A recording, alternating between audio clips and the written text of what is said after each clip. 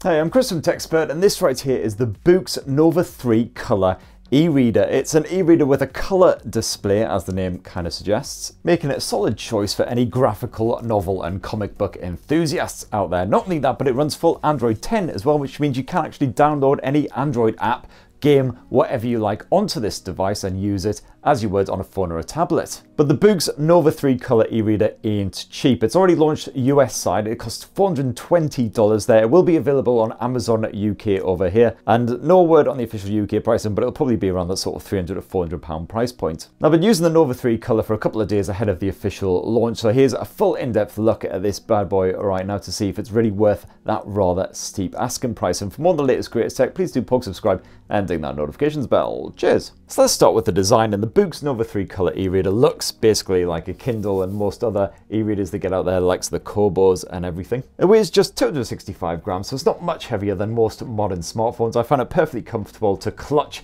all afternoon long while indulging in a good comic book reading session. And I'm not exactly, you know, super Mr. Beefcake here. And I've also been cursed with quite stumpy fingers as well, but as you can see, I can just about wrap my mitts around the back of the Nova 3 colour and just clutch it like so. I definitely found this the best way to hold it because as you can see it's quite skinny bezels uh, on either side of the Boox Nova 3 colours screen. You've got a soft touch finish around back and as you can uh, probably make out there, as soon as it catches the light, all of those lovely greasy fingerprints are highlighted. Ugh, not the most pleasant, but at least the uh, the Nova 3 colour seems fairly resistant to scratches, scuffs, all that kind of good stuff. You can chuck it about and not worry about it getting all messed up. The power button is just up top on the Nova 3 colour. Give that a little tappy tap and you're generally straight into your main screen. And it is full Android 10 running on here, although you wouldn't really know it just from a cursory glance because it's a very different UI from standard Android. Your main display will show any books that you've loaded onto the device. Uh, you've also got a store where you can download fresh titles.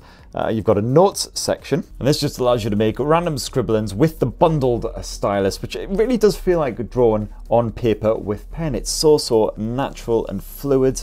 Very impressive stuff. And of course, because this is a color screen, you can, of course, color in your creations as well. You've also got a storage section and then apps, which is where everything you download from the Google Play Store will pop up. And speaking of that Google Play Store, you do actually have to activate the Google Play Access uh, before you can use it. You do this in the settings section by going to applications. You see an option in here, enable Google Play. Just make sure that that little box is ticked. And then you've got to tap on the GFS ID and then you just register your device, uh, signing into your Google account and everything. And apparently it can take up to 24 hours for Google Play to become active once you've registered uh, the Nova 3 color, but I must have got lucky. Mine was working straight away, basically. As for your controls, well, you've got a single physical button here just beneath the display, which is configured to act as kind of a back button by default, but you can go into the settings and change that. I've made that more of a home button instead, so every time I press that, it takes me back to the main screen. And in the settings, you can also activate the standard swipe gesture controls for Android as well. So for instance, a swipe up around the middle of the display will take you back to the home screen. Swipe up on the left side will open up the recent apps. So you can jump straight back into uh, whatever you were doing, or you can close down any apps that are still running in the background. And speaking of apps, yes, you basically can dive straight into that Google Play Store once it is active, and you can download whatever you fricking like in here. Like seriously, I tried downloading Asphalt thinking it would just tell me to bugger right off, but not fair play, Asphalt downloaded and you can actually run it. I'll say that the Nova 3 colour will run Asphalt, but it's not exactly the way that the game is meant to be enjoyed. Don't forget this is an e-ink display, um, so of course the refresh ain't exactly enough to hold up to the latest racing and action titles. Like, if you didn't have epilepsy before, you almost certainly will after a couple of races on this. Likewise, you can stream videos on the likes of YouTube if you like, but again, not exactly an optimal experience. I kind of look like I'm in an old a-ha video. But you know what? Load up a game of solitaire and you'll have an absolute whale of a time. So yeah, if you're going to want a device to watch videos, play games, yada yada yada, you're going to want to get yourself a tablet. But what about the reading experience? Well, Boox does have its own online bookstore, which you can access directly through the Nova 3 Color. Unfortunately, this seems to consist 100% of really old, out of copyright books. The good news is that that means that all of them are free to download.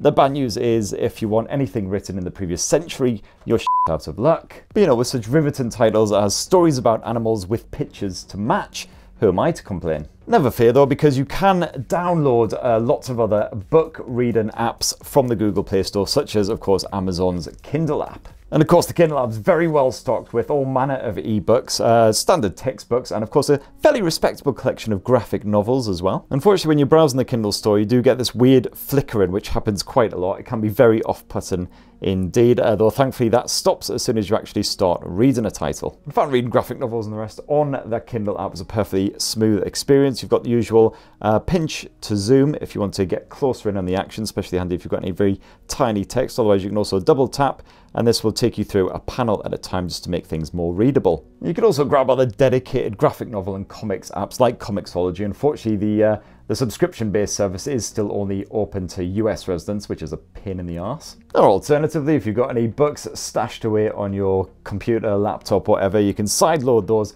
onto the Nova 3 color ebook reader as well. You do only get 32 gigs of storage, unfortunately, on the Nova 3 color, which does fill up pretty fast if you're sticking a lot of big ass omnibuses, things like that on there. And also, of course, if you're downloading lots of apps, sadly, there's no way of expanding that storage via microSD either. you can either tap or swipe to uh, flick your way through your various books in pretty much every app out there. And of course, you can also swipe your way through websites and things like that using the web browser if you want, though the low refresh rate on this e-ink display means it's a less smooth experience than you would get on a smartphone or a tablet. If you do want to enjoy an audio book on the likes of Audible, something like that, you do actually have a built-in speaker around here on the back end of the Nova 3 Color. Uh, so that'll absolutely do the job perfectly fine. You just drag down uh, the volume menu like so. Blew my mind, just adored it. The 2 megapixel uh, frigging camera, just like, wow, this is amazing, man. Sadly, there's no headphone jack here on the Boox Nova 3 Color, uh, but you do have Bluetooth support if you want to hook up a pair of headphones that way. And the screen itself is a 7.8 inch Kaleido Plus screen as Boox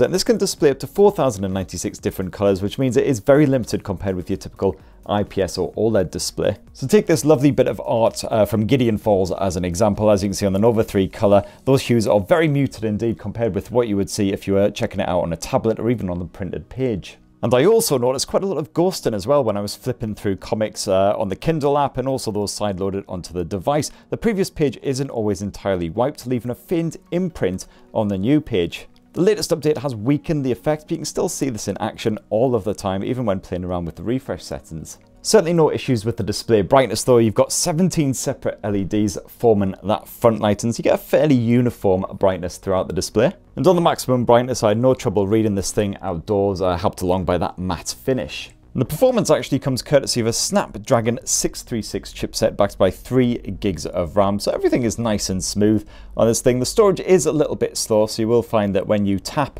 on uh, a book, for instance, it'll take a couple of seconds usually to load up. That was actually pretty quick, uh, quicker than I usually see it. You usually get this loading screen instead. Because one of the areas where the e-ink display is superior to the likes of IPS and all that is the fact that it drains power a lot slower. And I did find that even with the, uh, the front lighting cranked up to the maximum level, I could get a solid 9 or 10 hours of reading out of this thing from a full charge. And the Nova 3 Color e-reader supports Quick Charge 4 as well, so when that 3150 milliamp battery is completely drained, plug it in, you'll get a full charge again in less than an hour. So that right there is my thoughts on the Boox Nova 3 Color e-reader after using it for a couple of days. And certainly quite a lot to like here, but a few little issues as well, the likes of the ghosting on the display, which I really hope gets sorted out completely in a future update, especially considering this ain't a cheap device. And it would be great to have a dedicated e-reader for comics and graphic novels as well, as I'm planning through quite a lot of those at the moment. And certainly if you buy the big uh, fleshy paperbacks, then they can weigh an absolute ton, and also they ain't particularly cheap either. So let me know your thoughts down below in the comments. Please do poke subscribe and ding that notifications bell for more on the latest and greatest tech, and have yourselves a lovely rest of the week. Cheers everyone, love you.